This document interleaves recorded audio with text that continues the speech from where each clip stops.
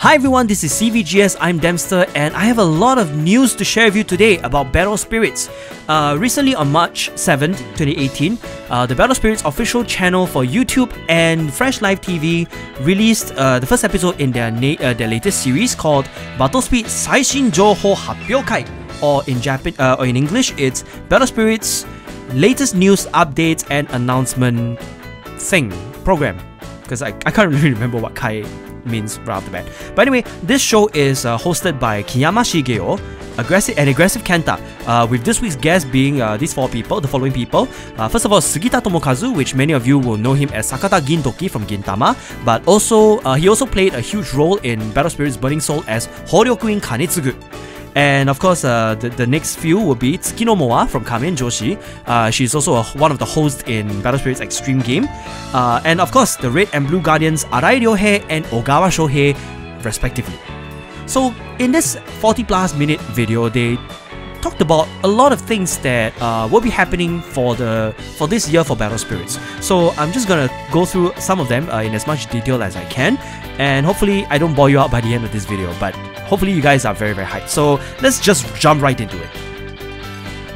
So the first thing that they talked about is obviously the upcoming booster set, uh, which is a collaboration booster for Kamen Rider. Uh, not only will Kamen Rider be getting a new booster set, they'll also be getting the very first collaboration trial deck or start deck uh, which is called Kamen Rider Reimagination, uh, which will be out on the 24th of March, which is very, very soon. So, for those of you who are Kamen Rider fans, or for those of you who want to get into Battle Spirits because of Kamen Rider, this is the perfect time for you to do so because a lot of these cards are really very strong, really promising, very powerful, and I believe they can last on the field for quite a long, long time. So uh, other than that, they also talked about uh, in depth about the new mechanic that comes with the Kamen Rider set called Change. Change is essentially like Accel, where you pay the cost for the, the change cost and activate it from your hand. Uh, but instead of putting it to the open zone after that, which is what Accel does, uh, you can either discard that card or you switch uh, this card that card with a cost six or below spirit with the family name Kamen from your field, and then switch it uh, onto the field in refresh state. So basically you know you you're, you're changing forms in, in like in true Kamen Rider sense, which is very amazing. So um, from this example that I'm looking at right now, uh, this is Kamen Rider Decade uh, Ride Booker equipment. So it's got the change skill. Uh, the change skill is a cost 6 reduction 3. Uh, so you destroy as many opposing spirits as you like. Uh, that totals up to 12k BP. After activating that effect, uh, you can either discard this card or Switch this card with a cost 6 and below spirit with a family name Kamen from your field uh, in refresh state. If it's in the middle of a battle, the battle will continue. So basically, let's say for example, you already have a spirit that's attacking, uh, a Kamen that's already attacking, and then you activate the change cost, uh, you activate the change for for Kamen Rider right uh, Ride Booker, and uh, you can you can switch it out, and then the battle will continue as Kamen Rider Ride Booker. So this is a very strong skill. I uh, it's a very strong mechanic that uh, I would I feel that Kamen Rider has, and it's something very unique to them as well. And not only that, if you have enough cost to pay, you can actually keep on activating change until you run out or until your opponent is down, which is very, very strong, I feel. Uh, I'm not exactly too sure how this Kamen Rider set will be in the future, but holy hell, from what I see, this is very, very amazing. Alright, so for the next point, I'll be talking about the new series that will be coming in starting from BS44, and this is in Japanese Shin Korin Hen. Uh, in English, I believe it will be either be God Radiant Descent Arc or the Grand Radiant Descent Arc or Divine Radiant Descent Arc. Whichever it is, Shin Korin Hen is going to be a thing starting from BS44. Now there will be a few new mechanics and few new uh, and a new gimmick. Uh, and this game, this new gimmick is called Grand Walker Nexus. Now, Grand Walker Nexus are very different from the original Nexus, so um, a lot of cards that target, like, say, Destroy Nexus or whatever, cannot affect Grand Walker Nexus. It is that strong. Now, the Grand Walker Nexus is, uh, is, is, like I said, is a new kind of Nexus card that uh, has a few very strong abilities. Now, the first the first skill that they have is Core Charge. Core Charge basically is, um, and by the way, Core Charge has the same kanji as Oracle in Vanguard, so oh well.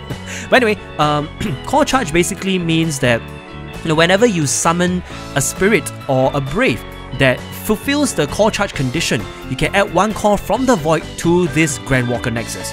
And don't forget, uh, Grand Walker Nexus is made in such a way that you cannot add cores from your reserve to it as per normal. Uh, you can only add it through the void, and also it cannot be the target of any uh, Nexus destruction unless it states that you destroy the Grand Walker Nexus instead. And not only that, um, the the cores cannot be removed as well unless they are using they are being used to pay as cost for the following skills that the Grand Walker Nexus has. Uh, the next one I'm I'll be talking about is Grand Skill. Uh, Grand Skill is basically uh, it's usually a level one skill. Uh, so basically, they have like by by sending cores from that Grand Walker Nexus to the Void, you can activate certain really really strong abilities. So you can imagine how painful it will be uh, and how much this will change the whole Battle Spirits scene. And lastly, uh, the third skill that they have is Grand Field. Grand Field basically are mostly level 2 uh, Grand Walker Nexus effects that will affect the whole of your uh, whatever spirits that you have on your field. So, for example, you're looking at this uh, this Grand Walker Nexus right now. This is Bashin Dan. Uh, his level his level two Grand Field skill is uh, at the end of the the battle that your Brave Spirit attacks, send one core from opponent's life to the reserve. So skills like this are really, really very strong, uh, and they can potentially change the tide of the battle uh, depending on what you do to it and how you use it. Now, if you look at the bottom right hand corner, uh, bottom right hand corner of the Grand Walker Nexus, you see a very different symbol. Now, this is the new symbol that will be coming along with the Grand Walker uh, Nexus called God Symbol. I am not making, I'm not making this up. I swear. The God Nexus, uh, to me, the the God symbol to me looks like a some kind of a, like aquamarine teardrop or it could be turquoise, I'm not too sure. But it looks very amazing and uh, so far as I know it is very similar to the ultimate gold symbols uh, so it cannot be used for any other color uh, cost reductions other than for the Grand Walker Nexus itself. So you can play multiple copies, hooray! now this Grand Walker Nexus will be introduced in uh, the, the upcoming Dream deck for both Bashin Dan and uh, Tsurugi Tatewaki uh, which will be released on the 7th of April. But of course, if you want more very Grand Walker Nexuses, they can also be found in the upcoming first volume of the Shin Korin Hen Booster Pack series BS44, which will be released on the 21st of April. Now, along with this, there will be a few changes, um, both in rarity as uh, both in rarity count distribution as well as uh, a new rarity. Now, let's just talk about the the rarity distribution first. Now, until now, uh, each pack will be 200 yen plus tax, uh, so you can calculate however you want in there, uh, and there will be eight cards in every pack, uh, with one pack with one card being one one rare and above. But for the new booster distribution set, um, one pack will be 270 yen plus tax, there'll be 9 cards in there and the rarity chance will be 1.5. So there is half a chance that you get one more extra rare card within that pack of 9. As for the boxes themselves, uh, the, uh, the, the, the, original one is currently 4000 yen plus tax with 20 packs included, uh, 4 master rares and 2 X rares. But in the new set, uh, the new format, uh, the booster bag, the boost, the boxes will be 4,320 yen plus tax with 16 packs in there. Uh, but the master rare and X rare has been boosted up to 6 and 3 respectively. And not only that, there is a new rarity that I mentioned before called the 10th X Rare. Now, this cards are really really very strong. And uh, from what I've seen in the, the this episode uh, the the guardian the guests and the MCs themselves have already taken a gander at what the card is. But it is still a mystery to all of us. So uh, until the time we actually get to see it it is still a mystery. If you're a fan of Shikitsuru-san, don't worry, there is a new episode that's already out. Uh, go watch it, it's very funny and really stupid. And uh, when you watch it, you will question your existence. I'm not, I'm just kidding. It's very entertaining. Just go watch it. It's super fun. Now, the next point will not really affect us as much as the Japanese, but uh, if you are following the Battle Spirits Extreme game, uh, which is an entertainment show just solely based on Battle Spirits, uh, if you've been following it either from the start or like in the middle as uh, like I am, you'll be very happy to know that they have renewed the contract for the for 2018. So for this upcoming financial year, you get to see even more exciting plays from uh, from players around Japan as well as the Guardians themselves. Uh, so hooray, rejoice! This is very amazing news. Uh, and one more thing that you're looking at right now, uh, this is the current um, the current victory ranking for the Guardians themselves. So you can see, as you can see, the Blue Guardian Ogawa Shohei currently is st uh, stands at number one with eight fights and seven victories with a with a victory rating of 88%. Second goes to Shukuri, the White Guardian, which is very strong by the way. Yeah, he has he has fought in six matches and won five with a rating of 83%. Uh, third comes uh, the third is Sakaguchi Shuhei, uh, which those of you who play Japanese football you know he's the he's the voice actor for Hanzo. Uh, he has four rounds and three victories, which gives him a victory rating of 75%. Uh, the fourth is Arai Ryohei, 10 battles, 7 victories with a victory rate of 70%. Fifth goes to Yaki, he, he, the Hello Guardian. He's only appeared in two fights, but he has won one, so it gives him a, a win rate of 50%. And lastly, Usui Takeshi, the Green Guardian, with a victory rating of 40% with 5 matches and 2 wins. Don't worry, Usui-san, you will be even better from now on. Now, with the victory rating out of the way, there will be a new format for the upcoming Battle Spirits Extreme game uh, called Limited Building Battle. Uh, it's largely the same as the original uh, Extreme game whereby three people will come together in one team and uh, have a showdown with the opposing team, and the first team that reaches two wins will proceed to the Guardian stage.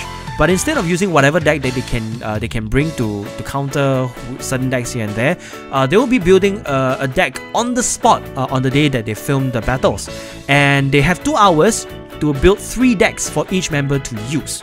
Now the cards they'll be using will come from uh, whatever whatever set that's most recent to them or for that month, as well as the booster that comes before that.